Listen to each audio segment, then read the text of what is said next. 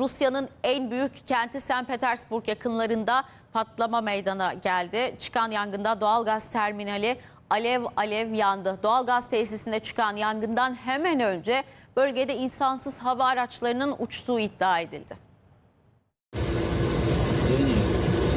Bir patlama duyuldu. Ardından devasa yangının dumanları gökyüzüne ulaştı.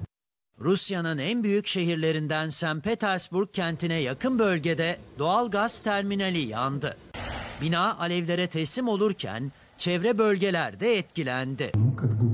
Leningrad bölgesi valisi Alexander Rozenko'dan limanda Novatek tesisinde yangın çıktığına dair bir çağrı geldi. Yangının nedeni açıklanmadı. Ancak yerel basında bölgede insansız hava araçlarının görüldüğü yer aldı.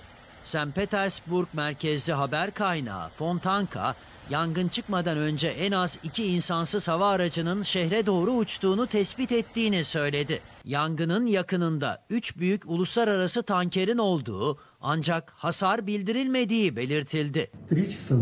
Şu anda bu işletmede yangını söndürme çalışmaları yapılıyor. Limanı da içeren bölgede yüksek alarm rejimi getirildi. Rusya Savunma Bakanlığı önceki gece Ukrayna sınırına yakın Smolensk bölgesinde 3 Ukrayna insansız hava aracının düşürüldüğünü açıklamıştı.